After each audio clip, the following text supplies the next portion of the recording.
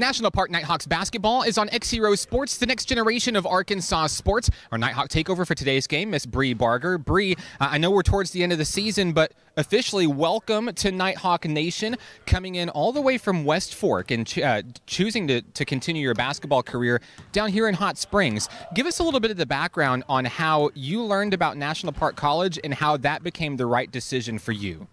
Um, I have a recruiter and he met Marvin at a tournament that Marvin was coaching at, and he saw the way he played and he like his team played, and he told me, or he told my recruiter that, you know, he was starting a new program at National Park and was willing to look at any of the girls he would advise to him, and I was one of the girls he suggested to him you know, kind of a challenge, a risk, if you will, coming down here and, and, you know, trying to help a program grow that's really getting its wings, getting its feet off the ground. And of course, you're someone that's no stranger to challenges. Of course, some of us know your story, some of us don't know your story, but um, you know, you have have went through the ringer in terms of your high school career, and even some now in your college career in terms of injuries. But one thing that we've always seen, Bree, is that we've always seen you get back up and keep going no matter what obstacle life throws at you and of course we knew that um, you know on the road at NorthArk earlier this season you you took a tumble again and, and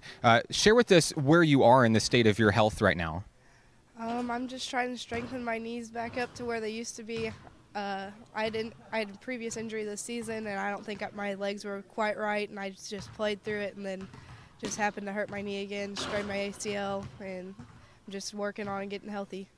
You know, unfortunately, your first year in Nighthawk Blue cut short on the court, but we've seen you everywhere off the court. Uh, anytime I come here to the gym, you're here. You're you're shooting, you're practicing, you're doing everything you can to stay in basketball shape. You're traveling with the team. You're there at practices. You help us with the camera on game days. Uh, you literally do everything you can to help this program, even if you can't help it on the court. And, and what is it that drives you? Because we know that you know you've went through so many injuries, and there were so many times where you could have just held up the white flag and said, "I've had enough," but you never have. And why is that? What is it that keeps you going?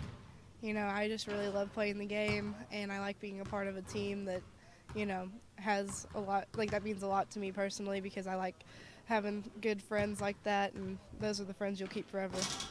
Let's talk about those friends. You've met a lot of these girls. You didn't know them very well coming in, and now you guys are all sisters. Uh, you really enjoy your time together. You can see it on the floor, the chemistry on and off the court. Tell me some of your favorite moments that you've had from this season with National Park College. Um, I would have to say one of our hotel stays, we all just like gathered up in one room and we just all hung out for a while and talked like everyone, like no one was gone. It was the whole team. So it was really fun just hanging out with each other. Now, Bree, I know here lately you haven't had as much on the court action, but we still see you, like we said, at practices. You're working on your game. You're you're watching the team during the game, analyzing how things are going. And although you're not on the court now, what are some things that you see this team doing really well right now as we reach the end of the season? I think that we do a lot of things very well.